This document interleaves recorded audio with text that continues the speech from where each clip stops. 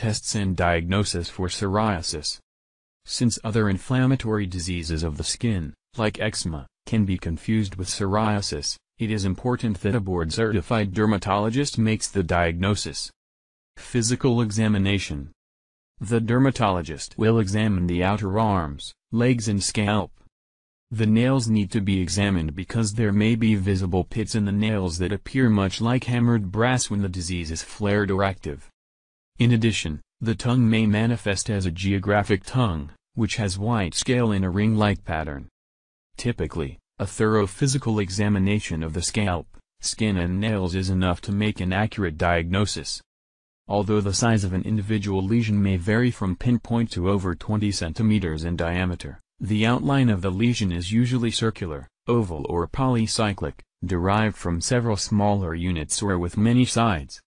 Psoriasis lesions characteristically have a very sharp border and do not fade into normal skin like other inflammatory skin rashes. In addition, psoriatic lesions are sometimes surrounded by a pale blanching ring, which is commonly referred to as a Woronoff ring. The surface of psoriasis plaques at times can be removed. When this happens, a characteristic Auspitz sign is observed, which refers to a collection of pinpoint bleeding. Skin biopsy. A skin biopsy may be necessary if the dermatologist is considering other similar inflammatory skin rashes, such as eczema, seborrheic dermatitis, dermatomyositis, lichen planus, pityriasis rosea or tinea corporis, ringworm. After a local anesthesia injection with lidocaine, to numb the skin, and epinephrine, to control bleeding, a plastic device is used to remove 3 to 4 millimeters of skin. Many times a simple stitch or two is necessary, which will need to be removed in two weeks. The tissue is then examined under a microscope by a dermatopathologist to confirm the diagnosis. The psoriasis area and severity index. Because the percentage of body surface area is important in regards to deciding which treatment would be appropriate for each individual patient, a scale for measuring the number and thickness of psoriasis plaques was developed. The most widely used measuring scale is called the PASI score. This stands for Psoriasis Area and Severity Index. These scores can be used in both clinical and research settings. Other tests Radiographs assessing for joint disease may be useful in patients also suffering from psoriatic arthritis. Blood testing for inflammatory markers, such as a CRP or ESR level, may also be helpful. A rheumatologist typically makes this diagnosis because he or she studies autoimmune diseases that affect the joints. It will then be necessary to determine a treatment regimen, which many times involves both topical creams, lifestyle and diet changes and possibly systemic oral or injectable medication, depending upon the severity of the condition. Many times collaboration with both the dermatologist and rheumatologist is necessary for optimal patient outcome. Causes, risk factors and prevention of psoriasis. With normal, unaffected skin, the body takes 28 to 30 days to create new skin cells and shed dead ones. But when you have plaque psoriasis, your immune system is overactive, causing skin cells to be pushed to the skin's surface in approximately 3 to 4 days. However, your body can't keep up with this rate of production. So while new skin cells are being produced, Dead skin cells pile up on top of each other. This creates thick, red, itchy, flaky patches known as plaques. The role of genetics. Psoriasis occurs in increased frequency in some families. When it comes to children developing psoriasis, a large German survey found that if both parents were affected with psoriasis, the risk for the child developing the disorder was up to 50%. But if only one parent was affected, the risk was 16%. Likewise, if one sibling was affected, the risk was 8%.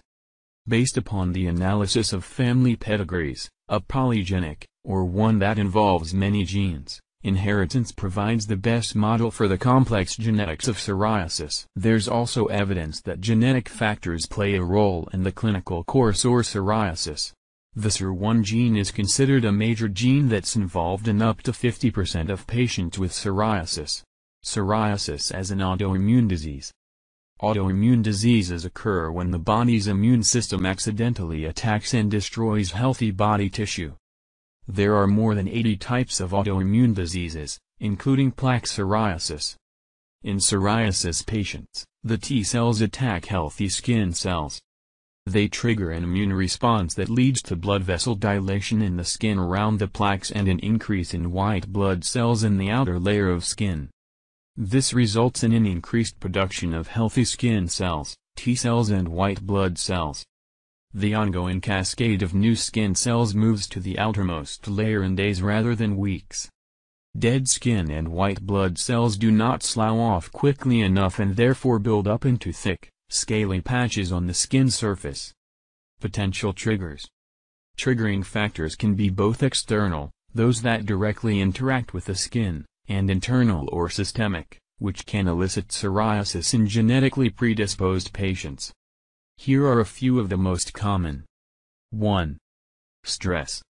Additionally, environmental factors, including infection, drugs, trauma, weather changes, obesity and stress, play an important role in the development of psoriasis. Severe emotional stress tends to aggravate psoriasis in almost half of those patients studied. Exacerbations of psoriasis typically occur a few weeks to months after a stressful life event. Additionally, in pregnancy, psoriasis symptoms can improve. However, after childbirth, there's a tendency for it to get worse. 2. Alcohol consumption, smoking and obesity. Obesity, alcohol consumption and smoking have also been associated with psoriasis. Smoking plays a role in the onset of psoriasis, while obesity appears to be a result of psoriasis. The relationship between alcoholism and psoriasis is likely due to the psychological effects of the patient and psoriasis. And excess weight increases the risk of psoriasis, as plaques often develop in skin folds. 3. Infections. Infections, particularly bacterial, may induce or flare psoriasis. This has been observed in approximately 45% of psoriatic patients. Beta hemolytic strep, especially manifesting a strep throat, is the most common offender. Additionally, dental abscesses, perianal cellulitis and impetigo can flare psoriasis. These types of infections typically manifest themselves in the form of gumdrop psoriasis. This type of psoriasis is common in childhood and teenagers. Similarly, patients with HIV have higher rates of psoriasis. Less commonly, sinus, respiratory, gastrointestinal or genitourinary tracts may be responsible for disease flare. 4. Skin trauma. Trauma to the skin like a scrape, bite or sunburn can trigger psoriasis. This is called the Koebner phenomenon. It is observed in approximately 25% of patients with psoriasis. Other forms of skin injuries, such as sunburn, drug eruptions or viral rashes, can also induce psoriasis. The lag time between the trauma and the appearance of the skin lesion is usually 2 to 6 weeks. 5. Certain drugs. There are several drugs that induce psoriasis, including, lithium, used to treat bipolar disease, interferon, used for immune system regulation, beta blockers and calcium channel blockers, used for hypertension, terbinafine, used for fungal infections, and antimalarials, used to treat infection and for autoimmune diseases. Rapid tapers of oral steroids, prednisone, may induce pustular psoriasis as well as flares of plaque psoriasis. That is why it is very important to be aware of the effects of these medications on one's psoriasis before starting any of them. Drugs and treatment for psoriasis. There are a variety of topical treatments and systemic therapies available to help treat psoriasis. Long-term management of psoriasis requires individualization of therapy, taking into account the extent of the disease, the patient's perception of the severity and the potential side effects of the treatments. The chronic nature of the disease necessitates adoption of a long-term approach while avoiding dramatic short-term fixes that may produce a more reactive disease state. It is often necessary to combine treatments for psoriasis patients. There is a need for new therapies, and these will eventually come with recent and future medical advances. Approximately 40% of patients reported frustration with the ineffectiveness of their current treatment. Topical treatments While there is no cure, current treatments may offer significant relief. The primary goal of treatment is to regulate or stop the skin cells from growing and exfoliating too quickly while reducing inflammation. Topical treatments, medications applied to the skin, are usually the first method used to help relieve skin symptoms. There are several topical treatments for psoriasis that have been shown to be effective. While many can be purchased at your local drugstore, others require a prescription. Topical prescription steroid creams work well for mild, limited cases. As anti-inflammatory agents, they reduce the swelling and redness of skin lesions. Secondly, vitamin D3 analogs, or calcipotriene, affect skin cell differentiation through the regulation of epidermal responsiveness to calcium. Crude coal tar, anthralin, tazarotene or retinoic acid, topical vitamin A preparations, and salicylic acid are all anti-inflammatory topical treatments that regulate cell turnover and can also be beneficial in the treatment of psoriasis. Over-the-counter topicals come in many forms. Salicylic acid and coal tar are the two active ingredients approved by the FDA for the treatment of psoriasis. Products that contain aloe vera, jojoba, zinc pyrithione and capsaicin are used to moisturize and soothe irritated skin and potentially remove scales or relieve itching. Sunlight therapy Sunlight therapy involves exposing your skin to small amounts of natural sunlight for approximately 20 minutes per day, depending upon time of year and distance from the equator. And it may help improve psoriasis symptoms, as UV light is anti-inflammatory in small doses. There are also many indoor sources, including monitored phototherapy units, which emit a specific type of UV light that has been shown to be more effective. These sessions can occur in the home or at the dermatologist's office. It is important to note that these wavelengths of light are not found in your local tanning bed facility. The lights in tanning beds are not regulated and may result in sunburn, which can trigger a psoriasis outbreak. It is very important not to sunburn if you have psoriasis.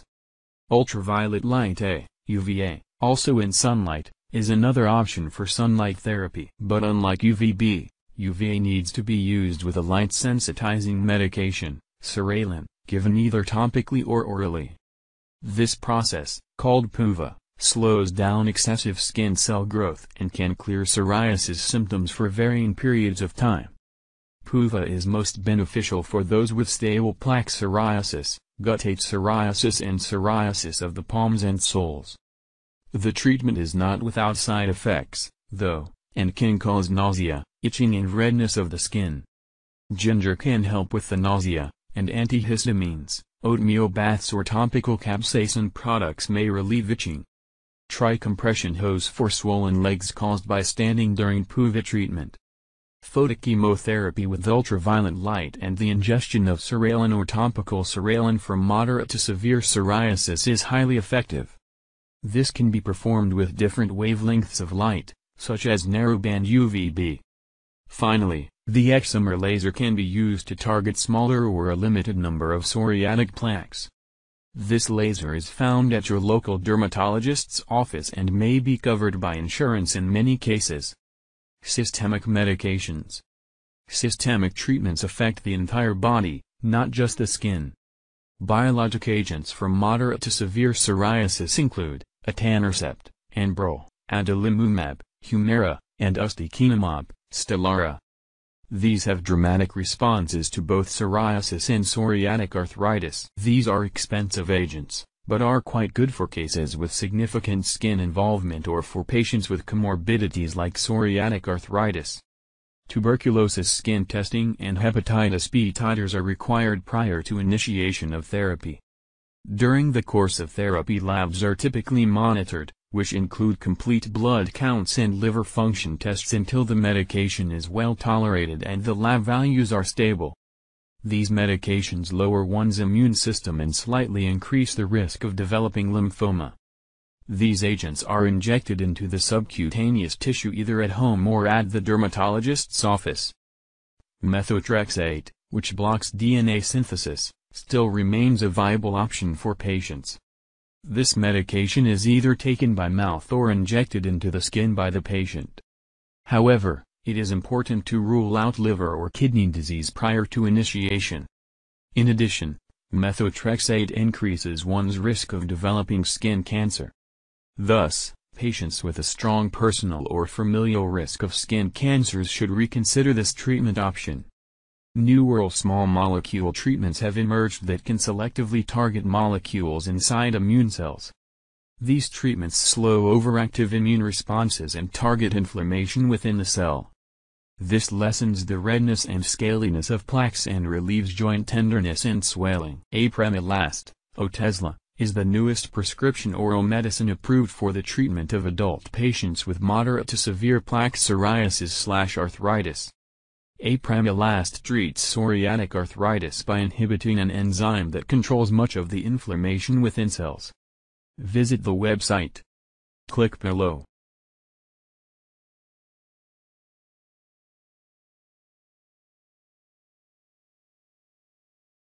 I hope you enjoyed our review.